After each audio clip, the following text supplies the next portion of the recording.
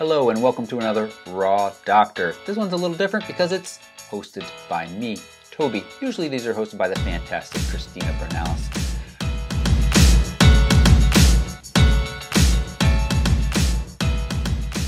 I'm going to try to be just as fantastic. And let's start off by saying that this is the show where we take your raw files that you've provided to us and we edit them teaching you some Lightroom tips and tricks and just generally showing you how to make your images look a little bit better. You can submit images for future Raw Doctor episodes at photorec.tv slash rawdoctor. There's a link right down below this video to that page. Also, just a reminder that we do monthly assignment critiques where we provide you with an assignment or challenge, if you want to call it that, you create those. They can be raw or JPEG, we'll take either. Um, and uh, then we critique them and generally talk about and sometimes touch on them uh, or touch up them in Lightroom. The current critique for the month of May is cropping. We do not want you to crop in Lightroom or Photoshop. We want you to crop when you take the photo. And if that raises big question marks in your head, take a moment and watch the April video for more information about that. But basically, we want you to compose your image in such a way that your subject is cropped, creating a little bit more tension or uh, drama in the image. Usually, it's one of the things that you can create that way. So, all of that said, let's get that stuff out of the way and jump right into the first picture that we're going to be working on today. A beautiful location by Christian Karen with a nice exposure. Now, why do I say this is a nice exposure when clearly this image is underexposed? I say that it's nice because I look up here at the histogram and I see that we have all of our information intact. We have really no clipping, a tiny bit up here. That means that because this is a raw image, it gives us a lot of room to work with and we will be able to get this image a, a lot brighter and really kind of showcase what's going on here.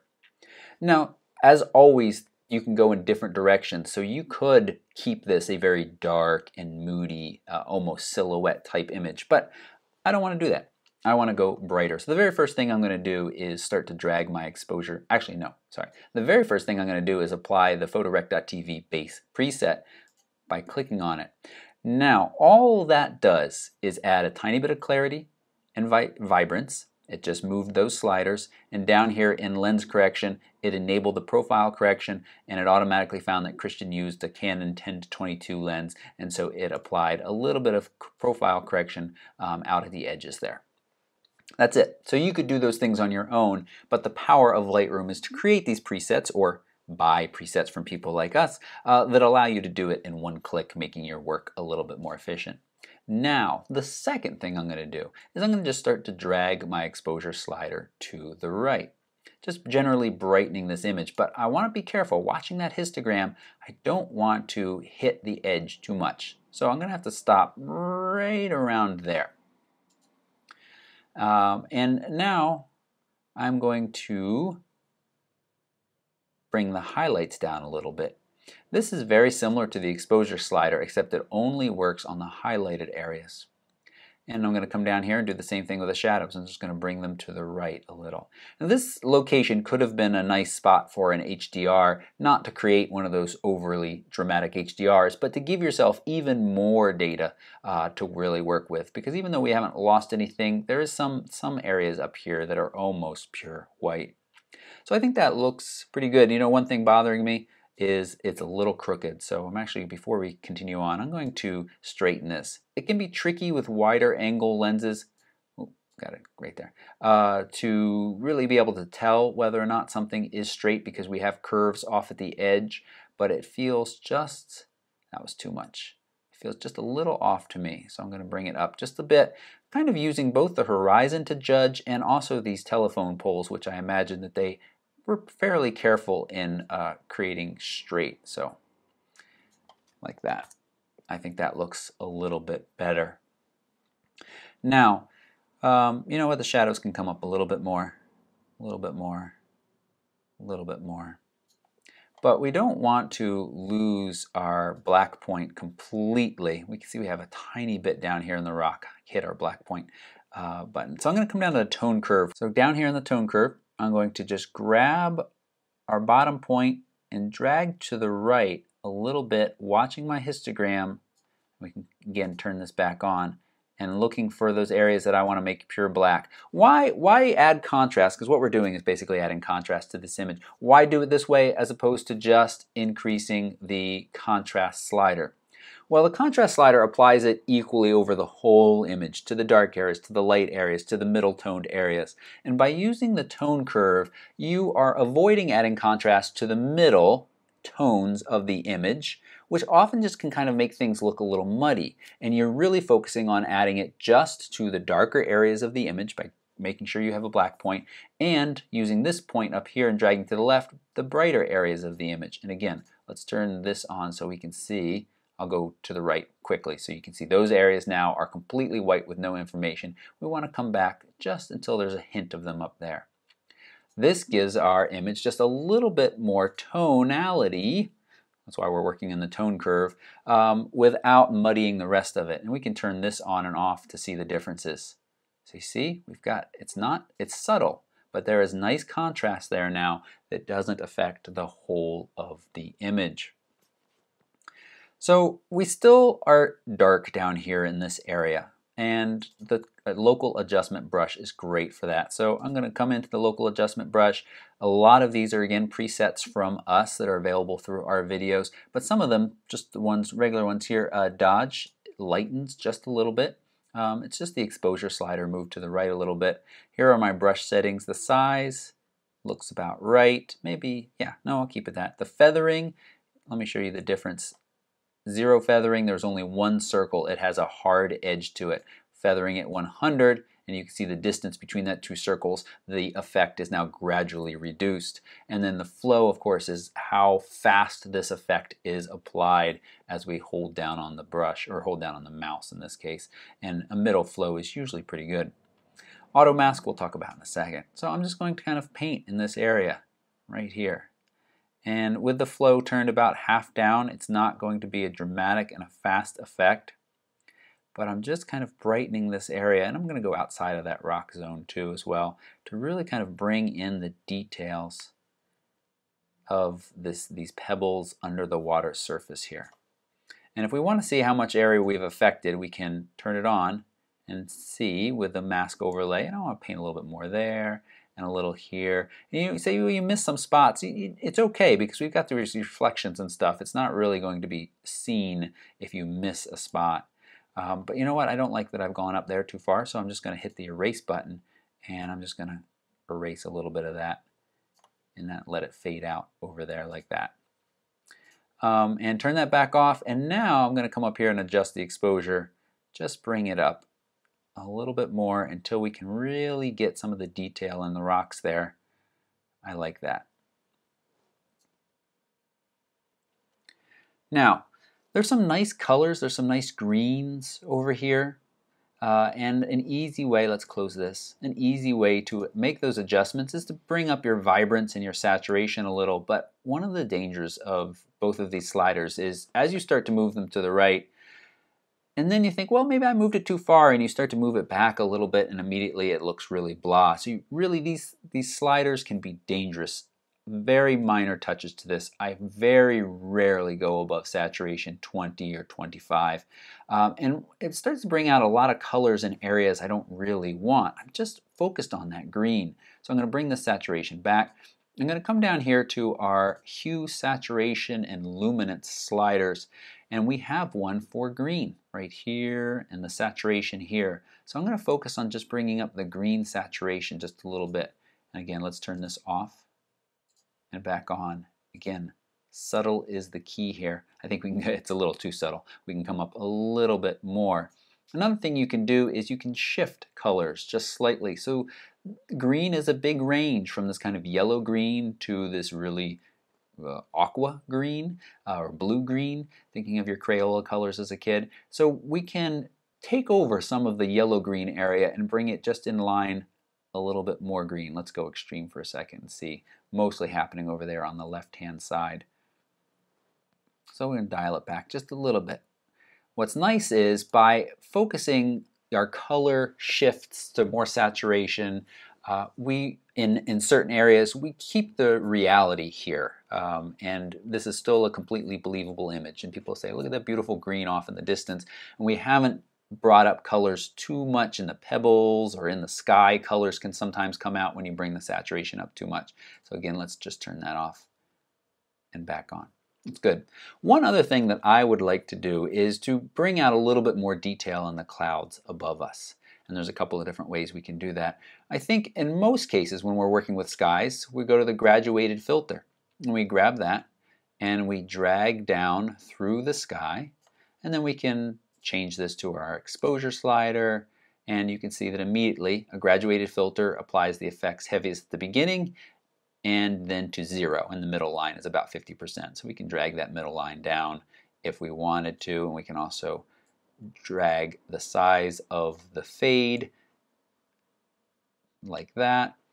Um, and you know what? I'm probably, and there's the, the mask overlay is on there too when you hover over it for a second or two. Shows you where it's really affected. And this, you know what, this looks pretty good. We could also do it with a radial in, in this case almost because we have such a curve here. We really don't want to affect these mounts. We don't want those to be much darker. And this is where the new feature, one of the new features of Lightroom 6 or Lightroom CC comes into play that's really nice, is in the masking tools we have the ability to make changes with the brush.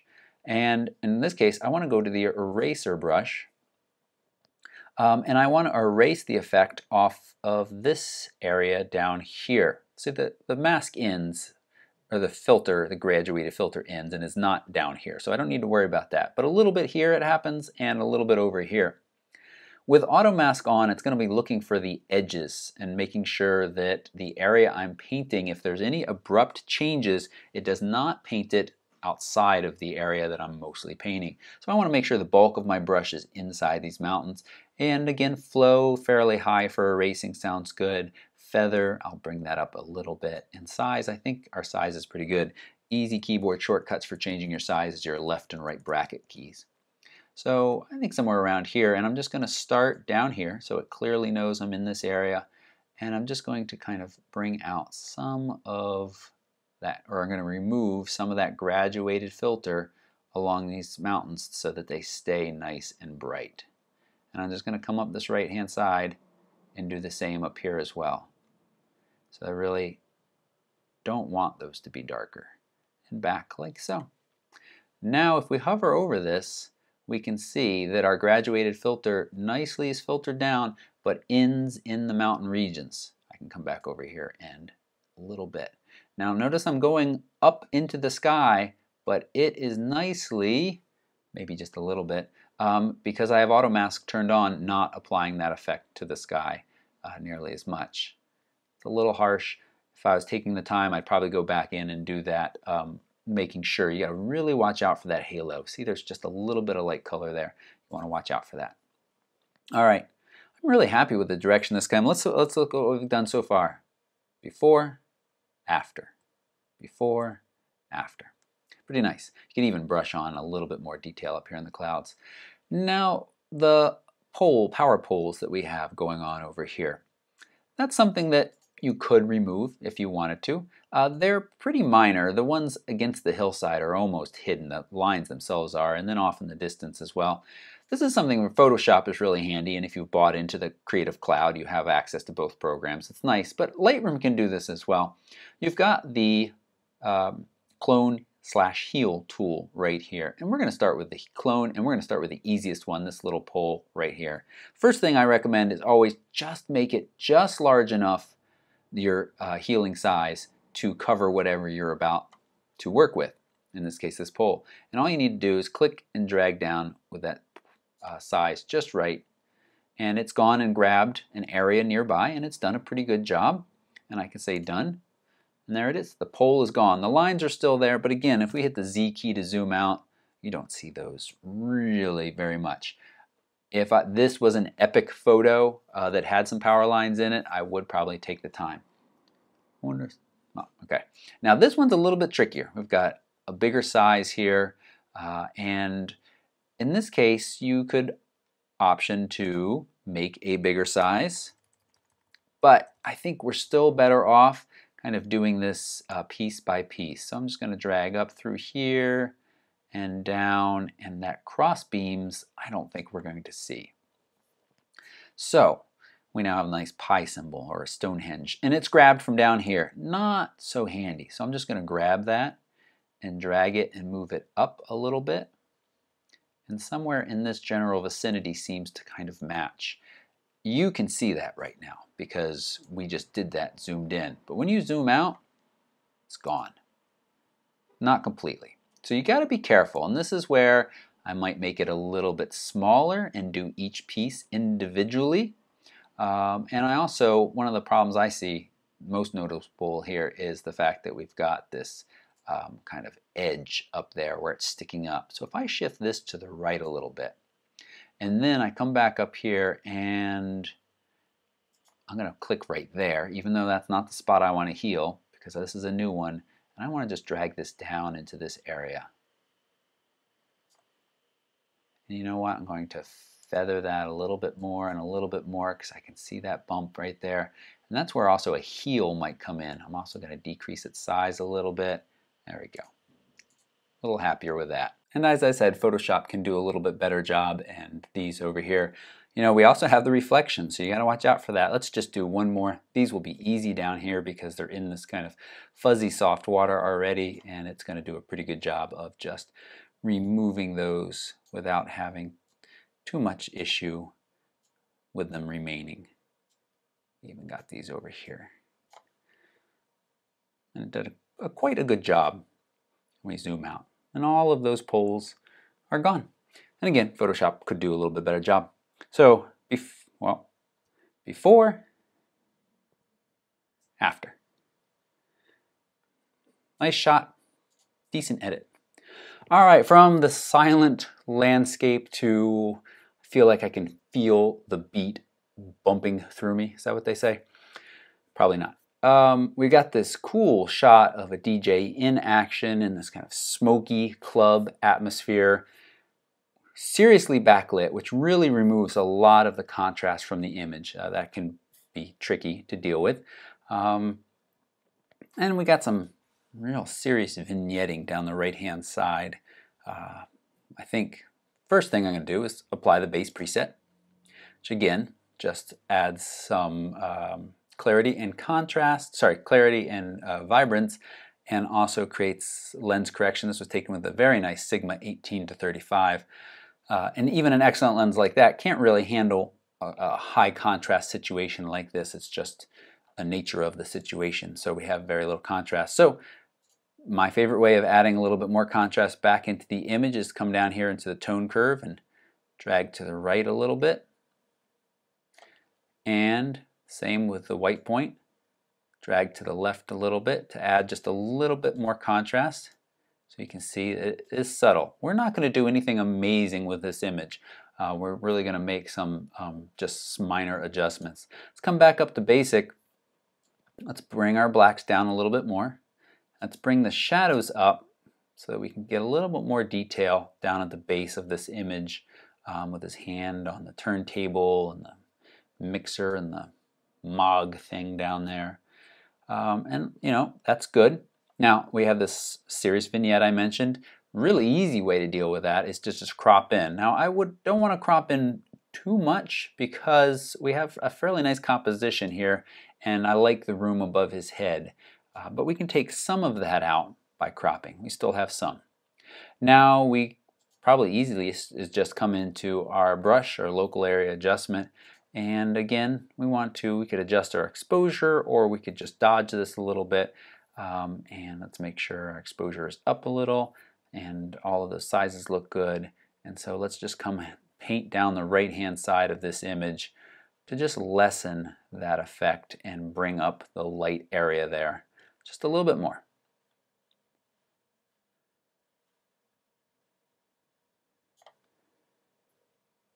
And once you paint on the effect as you saw you do, then you can adjust your settings as well a little bit, um, just kind of matching the general feel of this image. Now I also might change my, let's close this, my white balance a little bit. We're very blue here, so we can come out of the blue just a tiny bit. We don't want to do too much because we're not going to get a natural effect with this much blue to begin with. Um, but if we warm it up just a little bit, we might get not too much so that he looks sickly, um, we might get just a little bit more contrast again as well um, there. Pretty minor changes. Let's look at the before and the after. And one of the other options for an image like this, the, the blue is cool, uh, but we could also go, actually, you know what, before I do that, let's add a little bit more clarity. Because that's another way to really kind of micro contrast is a way that you could describe clarity um, to bring out a little bit more detail. Let's look again before, after. So we've definitely brought out more in this area. Another thing you can do is go to the black and white and it's chosen a mix for us automatically here. Um, and that's kind of a cool color too, or a cool look. I, the blue really is nice, but one of the things you can do in here is really bring up your oranges. We're not seeing as much in this case, are we? Yellows, and bring the blue down a little bit. And we have what seems like a more normal looking. We don't care what colors there were now. We just have this kind of more black and white, but his skin tone feels good to me, uh, or the skin brightness would be a better way to say it um, in this effect here as well. All right, let's move on from the club to a really cute little hummingbird, maybe ruby-throated female. Um, and just a nice shot. Now this is Darren's, and he actually wrote uh, to us, shared this with us, excitement. Uh, this light that we have in here and the reflection is coming from a reflector, not a flash. And so that's why we have this, this nice balance of natural light, and we don't have any of that harsh flash effect. Plus, I imagine that the hummingbirds wouldn't really care for uh, a flash going off, although people do use those, and it's okay. So let's um, bring up our exposure right away because we've just some of this area. He's kind of gray, but we've got some whites in here that we want to be just a little bit brighter. So I'm just going to bring those to the right. I know I keep forgetting. Apply my base preset. One of the reasons I keep forgetting to apply the base preset is I have that preset applied on import. Again, making Lightroom work more efficiently for you. Uh, getting all of that out of the way, adding a little bit of clarity and vibrance that raw files need to look better, um, and correcting for whatever lens distortion with whatever lens I've used. It automatically detects in 90% of the cases um, and then applies those changes for me. So on import. So uh, that helped a little bit. And then where our exposure has come up a little, I think that looks pretty good. To bring up the shadows just a little bit more as well add a little bit more clarity and a little bit more vibrance. Vibrance is less dangerous than saturation. Saturation is the one where very quickly things can get too colorful. You can see in here it's just a little bit too much and the little feeder here is a little too much as well. So I'm going to dial that back down. If you wanted to, this is another place where a local area adjustment brush with your saturation you could paint on in a kind of localized area to really bring out that color in that area uh, with it, without affecting the rest of the image. So just painting just a little bit back here. Again, 35 might be a little too much, but otherwise that looks that looks quite nice. We've got something creeping in, part of the part of the feeder up here on the right hand side. We could crop a little bit. I don't want, I want to make sure there's enough room up here, um, and I still think that there is. So I think that looks a little bit better. Another thing is this, this brightness here is a little distracting, but I don't think it's worth working on. If you wanted to, you could do the same thing we did for the club scene and just darken that area through there as well. Overall, I think this is a great image and we've got some really nice detail in there in the eyes. It's quite amazing. We could come down here to our uh, detail section and we could, we've got our sharpening, we could increase our noise reduction just a little bit um, and just clean up some of that when we get in a little bit closer. Not quite as noisy. Beautiful, amazing creatures, wonderful picture. And I think, oh, we didn't do a before and after of this, did we? Let's do a quick before and after. Again, no amazing drastic changes, but just really just tweaking that exposure, bringing up the brightness, um, I think makes this image pop just a little bit more. And that's it. This Raw Doctor is done. If you'd like to submit an image for a future Raw Doctor, remember photorec.tv slash Raw Doctor. Thanks so much for watching. Thank you for those who submitted and allowed us to work on their images. Have a good day.